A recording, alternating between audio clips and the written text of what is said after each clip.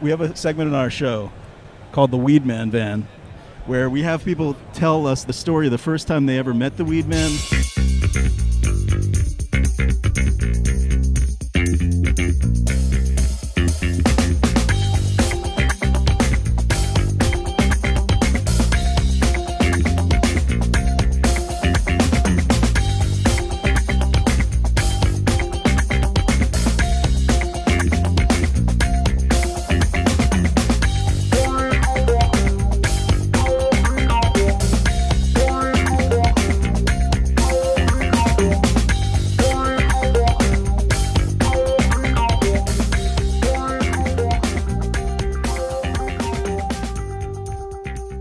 Uh, we have a segment on our show called Weed Man Van, where you tell the, the story of the first time you met the Weed Man, the first time you like, first time you basically either got high or like bought uh, drugs on the black market, bought weed on the black market and smoked with the Weed Man or that kind of thing.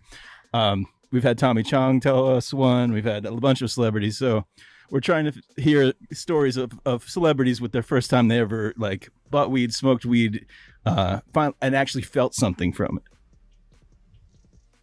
Uh, it.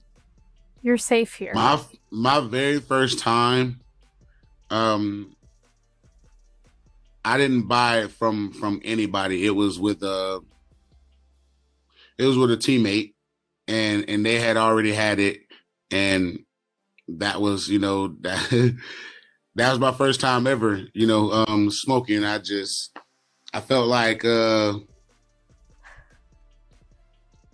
I don't I don't remember what what the I don't remember exactly the reasoning behind why I did it. Oh, we we had just got our ass beat. We lost the game. we we lost the game. Uh and and I didn't play that well and I was kind of frustrated.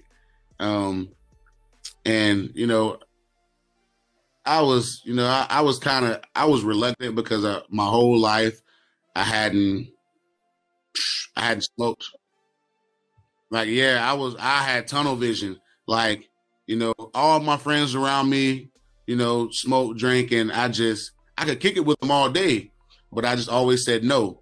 I respect Um, And uh, I was just, I just had that, I had that V line tunnel vision to where I wanted to be. And it was after we lost the game, and and, and he was like, "Hey, bro, just bro, just relax, just relax, and just come chill and just try this." and I'm like, "Man, I'm good, dog. I'm good. I'm gonna just, I'm gonna just stick to the, you know, a little henny and coke." Um, and and so I, I, I just, you know, kind of pushed it back, pushed it back for a while, and I finally was like, "All right, bro, I'm gonna catch you later." And I dapped him up, and I and I left. And uh, I started thinking, I'm like, man, dang, like I feel horrible. like we fucking got our ass beat. I didn't play good. Like he balled out. Like what the worst that could happen? I trust him. Like he's somebody that I know ain't gonna give me like no bullshit that don't make me fucking just so they can. You know, I've seen guys give someone some crazy Oh, shit just so they can make make fun of them and shit. Ah, you know what I'm saying? Like right. and and and and I knew he wasn't going to be the guy that, that put me in that position because obviously once you're in that position, you'll never try anything from anyone again. Right. Um, and I I I, said- I called up and I'm like, man, you know what, bruh? I'm gonna try that. Come on. And so I turned back around and I went back and and he rolled it up and I was like, ah. and my body was at that time was so just so clean, so where when I hit it the first time, I was just kind of like and it tasted and it, and it, and I wasn't used to the taste, so it tasted kind of funny. Right, yeah. Like Acquired. you know what I'm saying? Your first time smoking, like you like, you know what I'm saying? Like that that that taste. I'm like, oh, I don't know how y'all do this. and uh he was like, bro, you'll get used to it. Don't trip, just hit it again. And I did that a couple times, and about I had me another drink, and about three hours later, I woke up on the couch. So that was that was my first time ever. That was my first time ever smoking. I woke up on this couch about twelve o'clock that night, and uh decided to want to go home, but he was just like, "Nah, just chill. You've been drinking." Right. And then he rolled up another one, and I never turned back. Yeah. awesome. Great story. CBD Gang, we're looking for your Weed Man van stories. The typical Weed Man in van has many faces, Dirtbag Dave. Dirty Sherry, Scuzzy Sean, many names, Long Haired Larry, Greasy Gerald, Sketchy Eddie. and many different types of vans. But everybody has met him, and everybody has a story. Who turned you on to the power of flower? We want to hear about your first experience with grass, pot, Maui Wowie, you know, bud.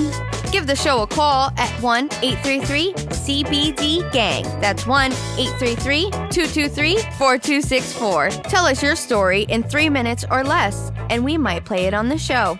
Hell, one day we might animate it for our YouTube page. All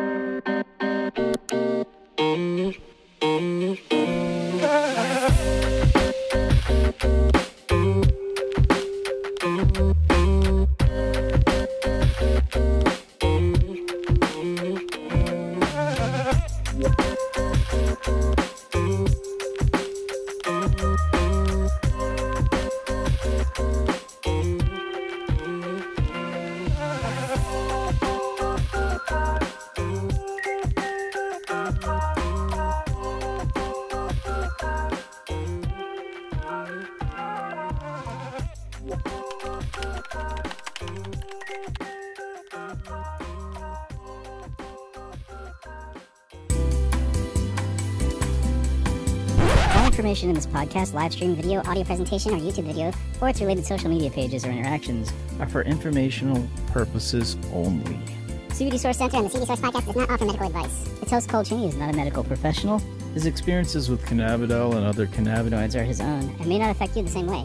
Everybody's endocannabinoid system is different. Statements made regarding CBD and THC products have not been evaluated by the Food and Drug Administration.